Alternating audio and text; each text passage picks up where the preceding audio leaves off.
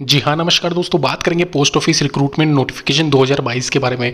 जैसे कि साफ़ साफ़ लिखा हुआ है यहाँ पे पोस्टमैन मेल गार्ड मल्टीटास्किंग जो ग्रुप डी में आते हैं, उनकी सीधी भर्ती यहाँ पे निकली हुई है। एग्ज़ाम नहीं होगा डायरेक्ट रिक्रूटमेंट है।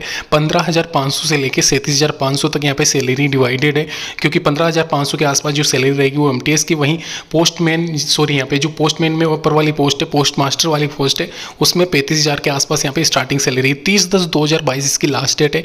योग्यता योग्यता की अगर मैं बात करूँ, टेंथ क्लास अगर आपने कर रखा है तो आप ग्रुप डी वाली जो पोस्ट आती है, इसमें पोस्ट मास्टर में, जैसे कि पोस्टमैन मेल गार्ड एम वाली पोस्ट, इसके लिए अप्लाई कर सकते हो। वहीं यहाँ पे सीनियर पोस्ट के लिए आपको ग्रेजुएशन चाहिए होता है। तो ध्यान रखना पूरा डिटेल नोटिफिकेशन रीड करेंगे, नीचे लिंक दे रखा वहाँ पर भी जाके आप चेक कर सकते हो। दोस्तों, अभी बात कर लेते हैं यहाँ पे पोस्ट ऑफ़िस रिक्रूटमेंट की डिटेल्स के बारे में। सबसे पहले मैं बता दूँ, यहाँ पे जो वैकेंसी है, इसमें यहाँ पे जो टोटल नंबर ऑफ़ वैकेंसीज है, वो कितनी है? तो ये देख सकते हो पोस्ट मास्टर वाली जो वैकेंसी है, उसमें आठ हज़ार पाँच सौ इकहत्तर पद है। वहीं यहाँ पे पोस्ट मेल और मेल गार्ड और एम वाली जो पद है, वहाँ पर सत्रह हज़ार बारह एक तरीके से ये जो वैकेंसी है, वो ग्रुप वाइज वैकेंसी होगी। इसके अलावा टोटल नंबर ऑफ़ वैकेंसीज है पच्चीस हज़ार पाँच सौ तिरासी ये आप देख सकते हो।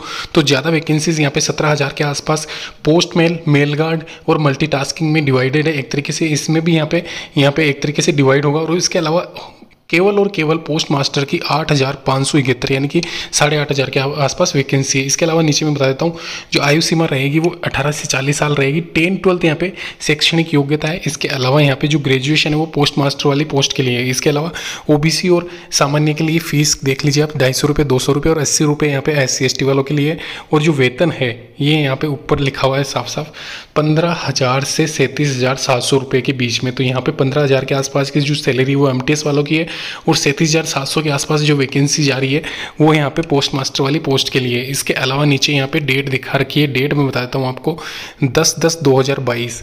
ये ध्यान रखना दोस्तों, आवेदन तिथि शुरू करने वाली जो तिथि है, वो 10 दस 2022 है, जो कि 30 दस 2022 इसकी लास्ट डेट रहेगी। अपोज डॉट इन पर आप जब को, आपको जाके यहाँ पे अप्लाई करना पड़ेगा। या फॉर्म डाउनलोड करके वैसे भी आप सबमिट करवा सकते हो। क्या क्या रिक्वायरमेंट है, नीचे ये जो मोस्ट इंपॉर्टेंट डॉक्यूमेंट्स है, उसकी लिस्ट दे रखी है, और आपका नोटिफिकेशन लिंक नीचे दे रखा है, वहाँ पर भी जाके आप चेक कर सकते हो। धन्यवाद दोस्तों, वीडियो देखने के लिए।